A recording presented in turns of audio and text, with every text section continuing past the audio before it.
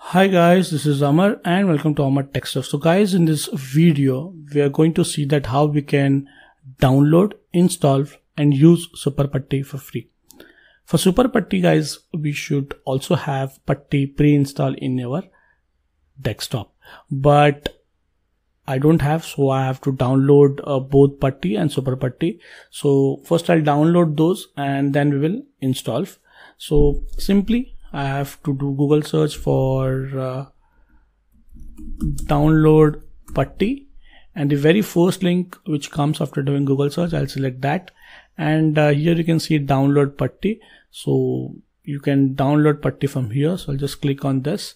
And I've already downloaded guys. So I've downloaded the 64-bit x86 which is uh, 0.76 installer.msi file. So I have downloaded already this file.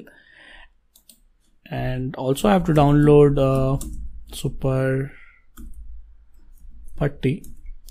So again the very first links which comes which is uh, puttygen.com so I'll just go on this.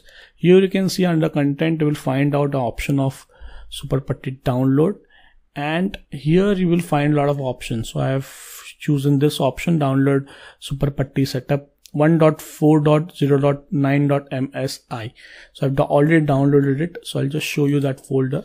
So this is the folder where I've downloaded both the software the putty and the super putty so I'll first install putty double click on this. It is saying welcome to the putty release 0.76 64 bit setup wizard. And next and uh, this is the location uh, where uh, the destination file is going to get uh, installed. That is C drive program files putty so this is this is the location which you need to remember because uh, because when you when you will do certain settings in super putty you have to remember or you have to actually uh, mention this particular location for putty so this is the location.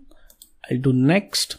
I'll do simply I'll do install it will ask for permission yes and it is getting installed. So it will take some time and I'll do now. Completed the putty release 0.7664 bit setup wizard click finish. So I'll just click on finish. So I've completed the installation of putty now I'll do the installation for super putty so welcome to the super putty setup wizard I'll do next and these are the uh, this is the license agreement. If you want to read you can read it. Uh, so I'll do I'll accept the terms and I'll do next. This is the location of super putty I'll do next. This is telling me to install. I'm do I'm doing yes. And here also I need to give some permissions so launch super putty I'll do tick mark yes and I'll do finish because the super putty setup installation is completed. So I'll click on finish. So this is the uh, interface of super putty so in order to use super putty we need to link super putty with putty so for that uh, there's an option over here that is tools. Under this tools actually there's an option named as options so you have to click on this particular options and I'll just click on this. So guys here you can see uh, here in general under the general tab there are a lot of tabs over here uh, which are very useful. So under this general tab you will find out here so putty.exe location. So i told you that you have to remember the location for the putty. So i have to actually browse that particular location. So i'll just browse over here so I'll just browse and you can see that here in the program files, uh, C drive program files putty, I'll find this putty file. So I'll just open over here and this is what we need to mention. I'll do OK and now my putty is ready to use. So what I'll do is I'll show you uh, taking logging to some of my device. The major advantage of using super putty is that you get untabbed uh, you know, versions. You can open multiple uh, tabs in a single interface of super putty so this is a very big advantage of using super putty or putty so i'll just do maybe you can get a lot of options over here ssh ssh2 telnet. So i'll use telnet. Uh, i'll use my router my router ip is 10 dot 1.1.1 uh, you can use here the username. The username is login and the password I'll put okay. And I'll just need to click over here connect or even if I can press enter as well. So I'll connect now. So you can see guys that I'm able to log in into my uh, router.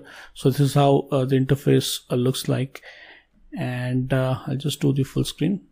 So if I want to log in into a second device in Putty you know it won't be that convenient as it is in Super Putty. So I want to log in into some other other router, let's say 10.1.1.2, which is having the same login and uh, password.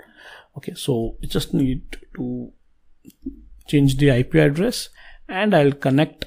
I'll click on connect, and you can see that you know uh, you know I've opened this 10.1.1.2, so I can easily you know switch my uh, tabs over here. That is I can just go on 1.1.1.1 if I want I can go on this 1.1.1.2 so this is the major advantage of using uh, super putty. Again you will get a lot of options uh, over here. If you go on this tools as I told you this particular options you will get a lot of options over here related to GUI you can change the font size and uh, the the font style and the font actual font. So you can do a lot of settings over here as well. And uh, also the shortcuts. This is a very useful thing. Like for full screen it is f11 so if i press f11 my screen will be full. So a lot of options next tab previous tab switch sessions duplicate sessions. So a lot of options over here you can get. Again advanced you can just figure out i won't i've never done some changes in advance because it's not required but uh, this shortcuts tab is very very very useful. You can customize as per your requirement. So guys in this video actually i want to show you how to actually use this or download and install putty super putty because these are very useful and super putty is very convenient uh, to use as compared to putty so i'll recommend this to to network engineers to use this super putty because uh, it will save you a lot of time. So guys i'll stop here. I'll catch up you in the next video. Till then bye. Thanks and take care